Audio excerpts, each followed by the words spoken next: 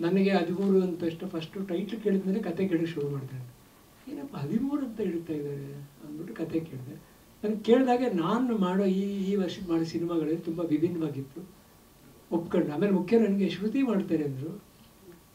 ಅದು ಇಷ್ಟ ಆಯ್ತು ನನಗೆ. ಗೆಲುವಿನ ಸರ್ದಾರ ಆದಮೇಲೆ ಇದೇ ಸಿನಿಮಾ ಮಾಡ್ತಾರೆ ತುಂಬ ಇಷ್ಟ ಆಯ್ತು. ಕತೆ ನನಗೆ ಏನಕ್ಕೆ ಇಷ್ಟ ಆಯ್ತು? ಸಸ್ಪೆನ್ಸ್ ಇಲ್ಲ ನಮಗೆ ಆ್ಯಕ್ಟ್ ಮಾಡೋರಿಗೆ ಮುಂದೆ ಏನಾಗುತ್ತೆ ಮುಂದೆ ಏನಾಗುತ್ತೆ, ಹೆಂಗೆ ಎಂಡ್ ಆಗುತ್ತೆ ಅಂತ. ಕತೆ ಗೊತ್ತಿದ್ರು ನಮ್ಗೆ ಆ್ಯಕ್ಟ್ ಮಾಡ್ಬೇಕಾದ್ರೆ ಕೇಳ್ಕೊತಾ ಇದ್ವಿ. ನೆಕ್ಸ್ಟ್ ಏನು ನೆಕ್ಸ್ಟ್ ಏನು. ಆ ಲೆವೆಲ್ಗೆ ಒಂದು ಕುತೂಹಲ ಮೂಡಿಸಿತ್ತು.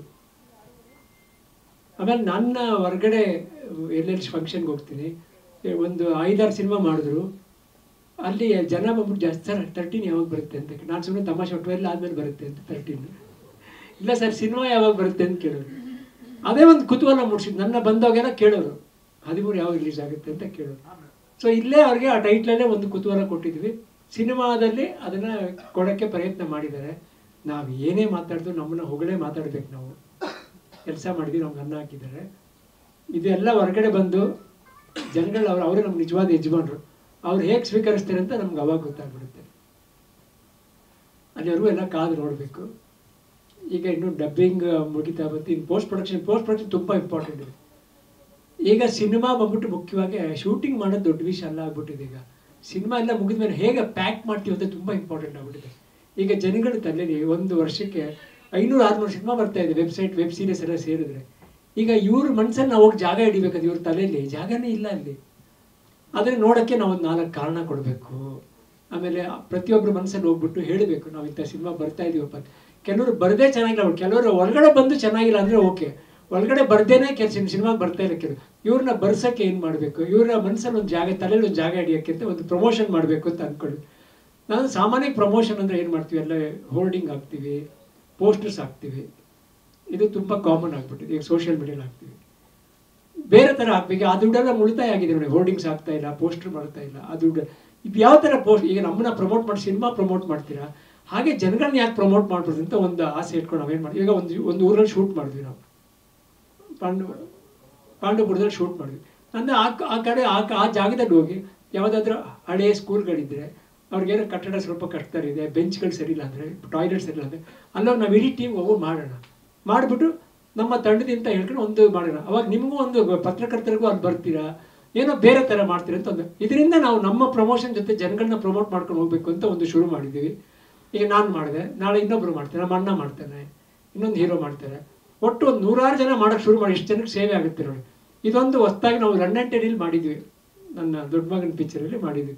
ಏನು ಮಾಡಿದ್ವಿ? ಎಲ್ಲೆಲ್ಲಿ ಡಂಪ್ ಮಾಡಿದ್ರು ನೋಡಿ ಕಸಗಳೆಲ್ಲ. ಅಲ್ಲೆಲ್ಲ ಹೋಗಿ ನಾವೇ ಬನ್ನಿ ಹಾಕೊಂಡು ನಾನು, ನನ್ನ ಹೆಂಡತಿ ಮಕ್ಕಳೆಲ್ಲ ಹೋಗಿ ಕ್ಲೀನ್ ಮಾಡಿದ್ವಿ. ಕ್ಲೀನ್ ಮಾಡಿ ಅಲ್ಲೋಗಿ ಗಿಡ ಇಟ್ಬಿಟ್ಟು ಬಂದಿದ್ದೀವಿ. ಗಲೀಜ್ ಮಾಡಬಾರ್ದು.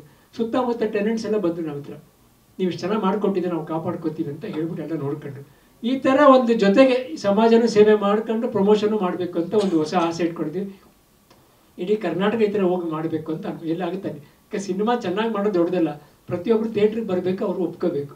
ಅಲ್ಲಿವರೆಗೂ ನಾವು ಅವ್ರನ್ನ ಕರಿಯೋವರೆಗೂ ಬಿಡಬಾರ್ದು. ಕರಿಯೋಕೆ ಏನಾದ್ರು ಪ್ಲ್ಯಾನ್ ಮಾಡ್ಕೊಂಡು ಒಂದು ಎಲ್ಲೋ ಒಂದು ಕಡೆ ನಾವು ಬರೀ ಸಿನಿಮಾ ಮಾಡೋದು ತೋರಿಸ್ತೀವಿ, ಹೋಗುತ್ತಾ ಇಲ್ಲ ಅದು ಆಮೇಲಿನ ಪ್ರಶ್ನೆ. ಎಲ್ಲೋ ಒಂದು ಕಡೆ ಸಿನಿಮಾದವ್ರು ಒಳ್ಳೇದು ಮಾಡ್ತಾರೆ ಅನ್ನೋದು ಒಂದು ಒಂದು ವಿಷಯ ಹೊರಗಡೆ ಬರಲಿ ಅಂತ ಇದೊಂದು ಪ್ರಮೋಷನ್ ಪ್ಲ್ಯಾನ್ ಮಾಡ್ಕೊಂಡು. ದುಡ್ಡು ಅಷ್ಟೇ ಖರ್ಚಾಗುತ್ತೆ. ಬಟ್ ನಾಲ್ಕು ಜನಕ್ಕೆ ಒಂದು ಜೀವನ ಆಗುತ್ತೆ ಅಂತ ನನಗೆ. ಎಲ್ಲೋ ಒಂದು ಸ್ಕೂಲ್ ಚೆನ್ನಾಗಿ ಮಾಡಿಕೊಟ್ರೆ ಮಕ್ಕಳಿಗೆ ಒಂದು ಟಾಯ್ಲೆಟ್ ಕಟ್ಕೊಟ್ರೆ ಹೆಣ್ಮಕ್ಳಿಗೆ ಎಷ್ಟು ಒಂದು ಹೆಲ್ಪ್ ಮಾಡ್ದಂಗೆ ಆಗುತ್ತೆ ಅಂತ ಇದೊಂದು ಮಾಡ್ಕೊಂಡ್ವಿ. ನಾನು ಆ್ಯಕ್ಚುಲಿ ಮಾಡಿದ ಮೇಲೆ ಹೇಳಬೇಕು ಅಂತಿದೆ ಇಲ್ಲಿ ಹೇಳ್ಬಿಟ್ರೆ ಇವ್ರು ಕಮಿಟ್ ಆಗ್ಬಿಡ್ತಾರೆ ಅಂತ ಇಲ್ಲೇ ಹೇಳಿಬಿಟ್ಟೆ ನಾನು. ನಾವು ಶ್ರುತಿಯವರು ಎಲ್ಲ ಹೋಗ್ಬೇಕು ಅಂತ ನನಗೆ.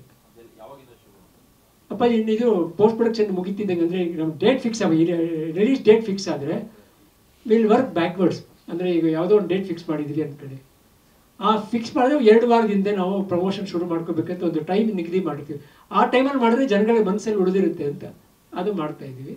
ಅದು ಡಿ ಟಿ ಎಸ್ ಆಗೋವರೆಗೂ ನಿಮ್ಗೆ ಹೇಳೋಕ್ಕಾಗಲ್ಲ. D I D T S ಆಗೋರು ನಮ್ಮ ಸಿನಿಮಾ ನಮ್ಮ ಕೈಗೆ ಬರೋವರೆಗೂ ಹೇಳೋಕ್ಕಾಗಲ್ಲ. ಸೆನ್ಸರ್ ಆಗಬೇಕು. ಅದಾದಮೇಲೆ ನಾವು ಹೇಳ್ಕೊಂಡು ಬರ್ಬೇಕು. ಹದಿನೈದು ದಿವಸ ಟೈಮ್ ಕೊಡ್ಬೇಕು ನಾವು ಡಿಸ್ಪ್ಲೇಗೆ ಅಂತ. ಎಲ್ಲಾದರೂ ಮಾಡೋಕ್ಕೆ ಅಂತ. ಇದೊಂದು ವಿಭಿನ್ನವಾಗಿ ಮಾಡಬೇಕು ಅಂತ ಒಂದು ಅನ್ಕೊಂಡಿದ್ದೀವಿ ನನಗೆ ಇದು ತುಂಬ ಇಷ್ಟ ಆಯಿತು. ಇದು ಪ್ರೊಡ್ಯೂಸರ್ ಕಡೆಯಿಂದನೇ ಬಂತು ಡೈರೆಕ್ಟರ್ ಕಡೆಯಿಂದ.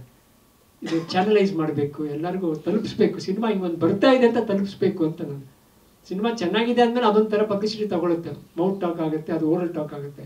ಅದಕ್ಕೂ ಮುಂಚೆ ಜನ ಒಳಗಡೆ ಬರೋಕ್ಕೆ ಒಂದು ಪ್ರಯತ್ನ ಏನಿದೆ ಅದನ್ನ ನಾವೆಲ್ಲರೂ ಸೇರಿ ಮಾಡಬೇಕು. ಆಮೇಲೆ ನನ್ನ ಜವಾಬ್ದಾರಿ ಕೂಡ, ಅವ್ರು ಹೇಳಿದ್ರು ನಾನು ತುಂಬ ಸಪೋರ್ಟ್ ಮಾಡಿ, ಅದು ನನ್ನ ಕೆಲಸ ಇವರೇ, ನನ್ನ ಜವಾಬ್ದಾರಿ. ನನಗೆ ಅನ್ನ ಹಾಕಿದ್ದೀರಾ? ನನಗೆ ಕೆಲಸ ಕೊಟ್ಟಿದ್ದೀರಾ? ಇದು ನನ್ನ ಜವಾಬ್ದಾರಿ ನಿಮ್ಮ ಜೊತೆ ಪ್ರತಿ ಹಂತದಲ್ಲಿ ಇರಬೇಕು ಅಂತ. ನಮ್ಮ ಕೆಲಸ ಶುರು ಆಗೋದು ಈ ಶೂಟಿಂಗ್ ಆದಮೇಲೆ ಇವಾಗಲೇ ಶುರು ಆಗೋದು ಪ್ರತಿಯೊಬ್ಬರು ತಲುಪಿಸೋದು ಪ್ರತಿ ಊರಿಗೆ ಹೋಗೋದು, ಪ್ರತಿ ಜನಗಳಿಗೆ ಹೇಳೋದೇ ನನ್ನ ಕೆಲಸ ಅಂತ ಅಂದ್ಕೊಂಡು ಈ ಟೀಮ್ ಜೊತೆ ಕೆಲಸ ಮಾಡಿ ನನಗೆ ತುಂಬ ಖುಷಿ ಆಯಿತು.